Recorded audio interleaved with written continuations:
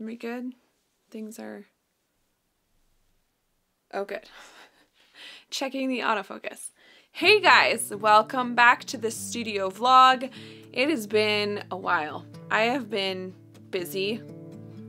I mean, not that I'm ever not busy, but um, I've been working on a project in the background and I can't wait to tell you more about it, but I think I need to get it a little closer to complete before I feel comfortable sharing it. Because in this world of social media and everything is so fast, I think the second I share something is like it's kind of expected that it'll be available right now. Anyway, I digress. So, I have some other weaving stuff I really want to work on. And I almost started it today, and then I was like, okay, this weaving back here has been on the loom for, I don't know, like at least probably like four months. Um, and it's not because it's like taking me that long to weave it, it's just simply I have like not been really trying. It was one of those projects that I was really excited about when I started. And then it was right around the time when I was starting to put the fiber packs together. And then all of a sudden I was just like, I wish I was working with colors now, which is so weird for me because I, you guys know, like I love my neutrals, but I think what I'm discovering is that I actually don't, it's not that I dislike color, I think I'm just really picky about color. So anyway, I just really want to get this done and it's not that I don't like it. I actually think it's super beautiful, but I just feel other projects like calling my name and anyone else who's an artist, creative, entrepreneur, you probably are like me where you have a million ideas running through your brain at all times and so it can be really hard to complete projects sometimes because you just want to do all the things. So I'm trying to be good. And I say that now, but later tonight I'm probably going to start another weaving project that has nothing to do with this. Let's be just really honest here. Um, anyway, I'm going to work on this. I already stained the dowel, so I got that step done. I have woven a little bit on it today, but I just thought you guys might want to hang out with me while I work on this. And um, yeah, so here we go. Also, can we just talk about the fact that I'm in like straight up all black today minus this headband. And every time I put on black and I work with wool or I live in this house with pets, I'm like, why do I do this to myself? Because I'm just like immediately covered and yet here we are. I'm still wearing black. Anyway, time to weave. This video is brought to you by the Spruce and Linen Shop where you can find weaving kits, tools, materials, and supplies. Link in the description box below. Okay, I'm just jumping in here because Guys, I'm totally obsessed with the channel The Endless Adventure. They are like travel vloggers and um, COVID happened, so now they're like, they're renovating an old RV, like a actual little motorhome. And I'm obsessed. And it like, I want, and it's funny because like they haven't even done all the like cool pretty things yet, but like I want to do that. I'm not going to, but man, I'm addicted. So anyway, if you need some new positive, happy, fun content to watch, I highly recommend The Endless Adventure. They're really, really great.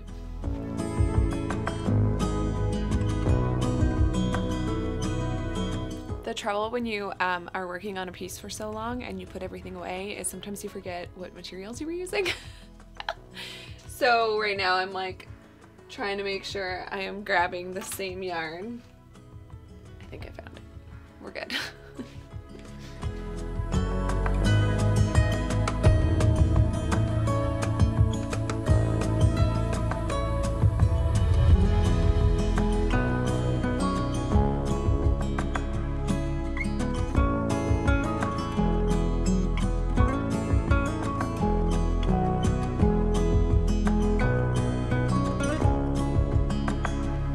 you guys. So I'm trying to pick a color for the dowel.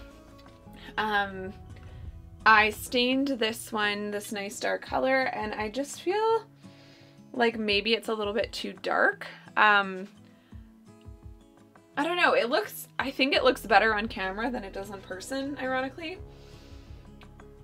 But it almost feels a little bit heavy for the piece. So anyway, I stained a few other ones just to see what other colors would look against it. Um, so I've got like this one, which I think is actually might be too close to the same color as that yarn and maybe a little bit on the cool side. Then I had this one and the dowel seems to take the color kind of strangely. Let's see if I can get a focus here. So it seems like it, it like it takes it really unevenly, so I'm not a huge fan of that. Um, and then this, I'll show you this one first. So then there's this one. Excuse the uneven staining. These are just like little samples. And I think that's getting a little closer. Like I kind of like that little bit of contrast with the piece, but I feel like this is not the right kind of contrast. And then I did this one and I think that is what I'm leaning towards because what I like about it is that it's very, well, if you can see it compared to those other ones, it's kind of warm still, which I'm liking because this piece is mostly filled with warm colors, but it is a bit lighter and it's not super yellowy. Like this one is definitely more, much more warm, whereas this one almost feels like, like a warm but worn color. So I think that's what I'm gonna go with. I have more dowels, so I'm just gonna stain one up and then I can compare it. Um, not a huge deal. I can use this on another piece. But yeah, when I just laid it there and looked at it, it just like, it doesn't feel quite right. And I think it just, I don't know, it feels too cold. So I think I'm just going to warm up the piece like this. Like that's more the vibe I'm going for is that cozy warm, whereas I feel like this is very, um, what's the word I'm looking for? I think it's just heavy. I don't want it to be so heavy at the top um, because then it's going to feel kind of top heavy. The last time I used a big dowel like this on a really big piece was when I did my sister's piece for her stairwell and it was a humongous piece. It had super super long tassels and there was a lot of color a lot of dark so I felt like it actually kind of anchored the piece and it also had black warp strings so it really just like worked well together but on this piece I'm going for more of that warm cozy vibe and I think this is just simply, um, it's taking away from that rather than adding to it. I think for me, you know what I think it is? I think for me, this is giving it too much of a, too much of a rustic vibe, which is not really my thing. Whereas I think this um, keeps it a little bit more modern um, and more of just that cozy warm. I hope that makes sense. These are, and the reason I'm telling you all of this is that I know a lot of you ask about the design process and that kind of thing. So these are the kinds of things I'm thinking of. So just because I stained that dowel, if I don't think it looks good, I'm not going to use it because like I said, this piece has been on here for so long. I want it to be the best it can be. And um, not that I'm expecting any sort of perfection, but you can see how much um, the feeling of it, and I'll zoom out a little bit more, the feeling of the piece really changes depending on what dowel you have on here. So you see how that's kind of really heavy and I just don't really feel like it suits the piece. And then we go to something like this where it's almost like if you wanted the dowel to blend in, then that might be the right choice. But to me, this still is a little bit on the rustic side. Then we go to this and it just looks a little off. Like it's like close to the yarn color, but not quite. This one's definitely getting closer, and again, it's stained really unevenly. This one I would probably still use on this, but it's a little bit too on the yellow side. And then finally, this one, ignore the end because it has some other colors of stain on it. This one to me is kind of that perfect balance of warmth, keeping a little bit more modern, I think, with the lighter color and the more neutral tone and um, but it still provides just a little bit of warmth to the piece. So anyway, I'm gonna stain a dowel, hold it up there again. Maybe I'm completely wrong, but I'm pretty sure that's gonna be a better match. Okay, you guys, I'm back. It's been a couple days. Um, yeah, life happened. So I stained a new dowel and I want to show you what it looks like before I go finishing this weaving. But check it out. Okay, I'm going to do a little comparison just so I can once again talk you through my thoughts. So these dowels are obviously very different in color. Very different.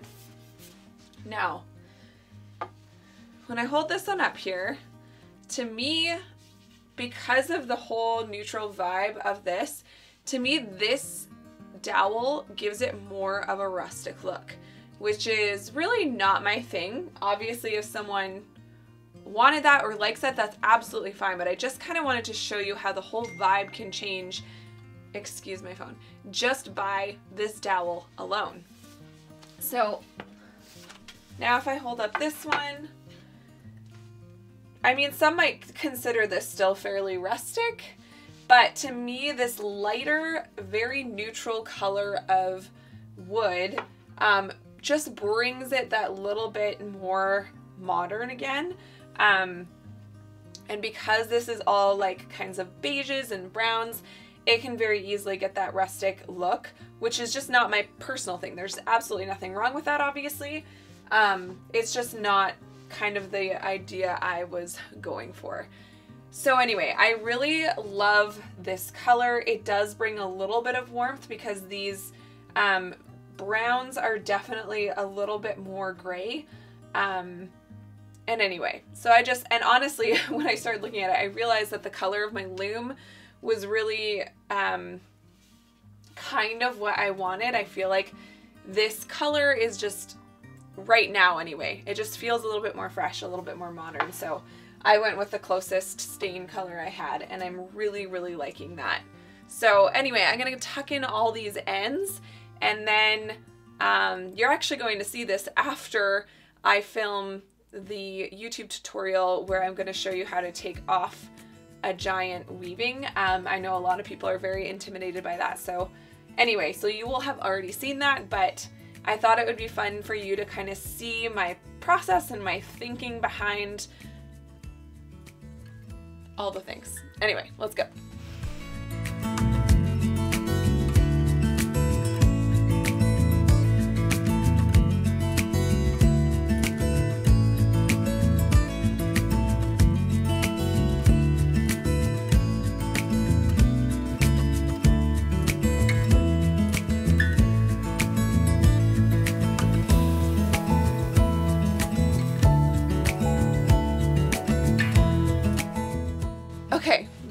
Is finished. Um, and here's the thing about the back. I see a lot of people like to ask the question, like, how much does the back, sorry, I'm just trying to get it to focus on me. How much does the back really matter on your piece? And the way I compare it is kind of like, let's think about how you um, treat people, say your customers, like how do you treat your customers outside of the public eye? Right? So, like when you're in your DMs, when you're answering questions on your Etsy shop messages, whatever it is, and it's like obviously you're going to remain professional even though that's not in the public eye. So, I kind of compare it to that, that the back of your weaving is just as important and shows your expertise and your professionalism as the front. That's my opinion as a business owner and as someone who wants to make and sell their work. Now, if you're making this for yourself or you're really just making it for your family, like that might be a different scenario and maybe you don't need to worry about the back so much. But I really think that um, anytime you're selling a product, I think as was pounded in my mind when I was in art school. Like they would constantly tell us like the back is just as important as the front. If so, because the thing is, if you've ever done um, a market or something like that where people are like able to pick up your work and look at it, they will always look at the back. You would be shocked. Every time someone picks up a piece, they look at the front, they turn it around, they look at the back. So if the back looks like it's in shambles and is all crazy, like they might immediately perceive your business as less professional. And that's where it comes in. Like, theoretically, and on a really practical level, no, it doesn't really matter what the back looks like. But as a business, as a professional, it really, really matters because if that's going to be the make or break point for selling, you're going to wish you took the time to actually finish it properly. And again, I know a lot of people are just like, but I hate doing the back, blah, blah, but come on now. I get great satisfaction out of how clean this looks. And you have to admit that makes it look so much more professionally done just because I made sure the back was just as tidy as the front. Like obviously, you know, there's little ends here sticking out and it's obvious that this is the back when you really start looking at it. But um again, yes, in my in my professional opinion, it very much matters what the back looks like. And yeah, that's all I got to say. So I think I kind of uh, jumped the gun when I started this piece and I didn't do any kind of twining on the bottom or anything like that. So I think I'm gonna go in and do some quick twining to make sure that everything stays in place because especially on these curvy ones, um, it makes it a little bit more difficult because um, typically when I take, and you'll learn this in the tutorial, so if you want the full tutorial on how to take this off the loom, go see that. My voice is very croaky today. So don't mind me. It's just because, okay. I just want to address something real quick. I've had people tell me that I sound sad or like weepy when my voice sounds like this. But in reality, it's just that I haven't talked enough today, so my voice isn't warmed up, and that's kind of like the whole working from home by yourself thing that happens. Sometimes you can go through most of the day without talking out loud. So that's all that is. My voice is just not warmed up. Anyway, so typically when I take big pieces off the loom, I measure my strings as I'm tying them so that I can be sure that everything is going to be square and everything's going to hang correctly. But when you have a curved bottom like I do here, you obviously, there's no measuring I can do because every part is going to be different. So that's why I'm gonna go in here and do a quick twining stitch so that I can make sure that these strings are at least closely staying where they should. But when I do the top, I will be measuring. So anyway, I'm gonna go do that now.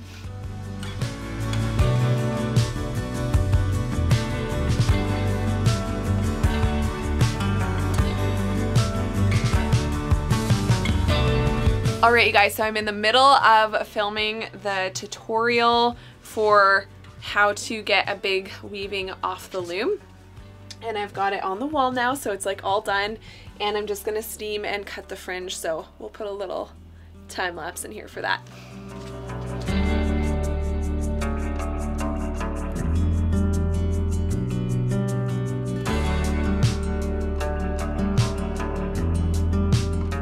Okay vlog, so, it's done.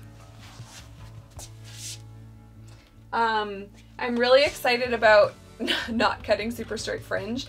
I have found that it's like getting more and more annoying, I guess, cutting that super straight fringe. It's really time consuming and takes quite a long time to get it all straight and yarn is quite bouncy so it is constantly kind of moving and adjusting so I really wanted to try something different on this one just to see and I really like it. It's it's still that general shape of the weaving and if you watch this week's um, tutorial you'll see me talk a little more bit more about it but I'm really liking that just kind of purposefully uneven look so it's not just letting it go wherever it wants to but it is also not trying to make it perfect either so it's kind of somewhere in between. Anyway, I'm so happy with the way this turned out. I'm so happy it's done because literally, like I was telling you earlier, it has been on my loom for months and it was kind of like mentally becoming this like mental burden for me. So I'm really glad it's done now and I'm also just really glad I love it.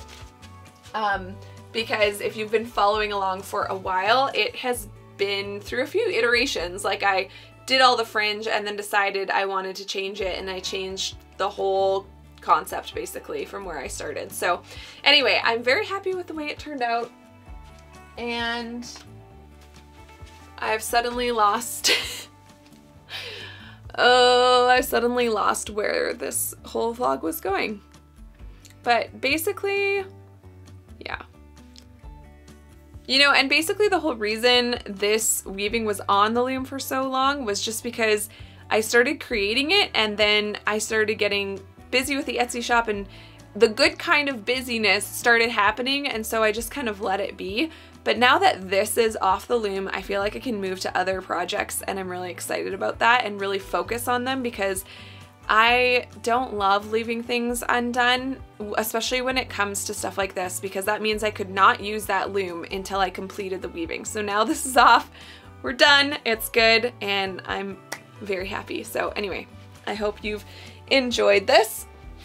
And I hope you guys try some big weavings too because again, if you haven't yet, go watch the tutorial on how to take a big weaving off the loom because it's really not that hard.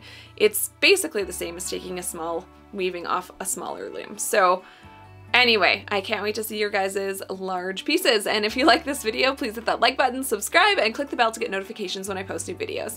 Thanks so much for watching, and I'll see you on the next one.